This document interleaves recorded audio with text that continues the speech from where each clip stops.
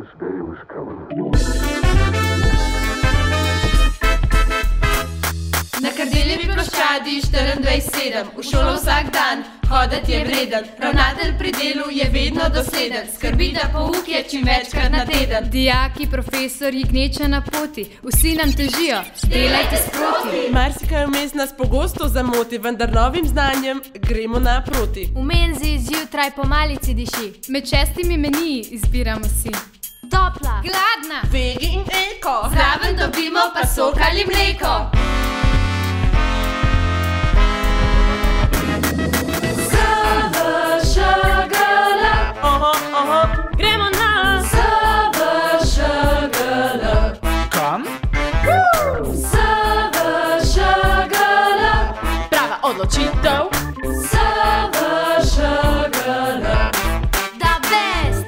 Na šoli naši je veliko predstav.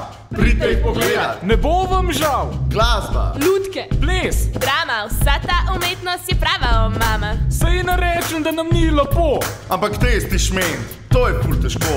Kadar končamo s delom v klopi, gremo potovat po celi Evropi. Pariz, Amsterdam, Praga, Berlin. Kamor hočeš, če imaš za benzin. Kjerkoli smo, naš slogan je navzoč. Naj se sliši. Pej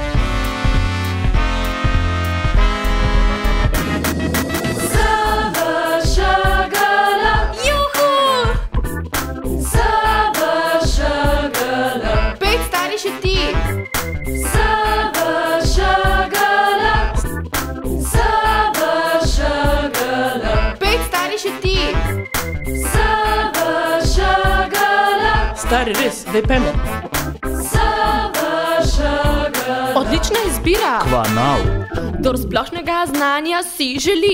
Samo na gimnaziji ga dobi. Če prihodnji rod ti je na vesti, Se vzgojiteljski razred moraš usesti. če na odru rad vestiš, Z umetniki srce deliš. In tekst, Kaj? tekst, kaj? Tekst se. Vsak najde se lahko v eni naši smeri. A če nisi vsak nikar, ne zameri.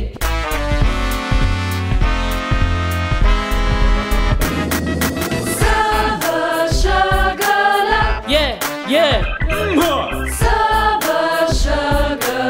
Kam? Kako? Busom, Imamo fest kuharce. Gremo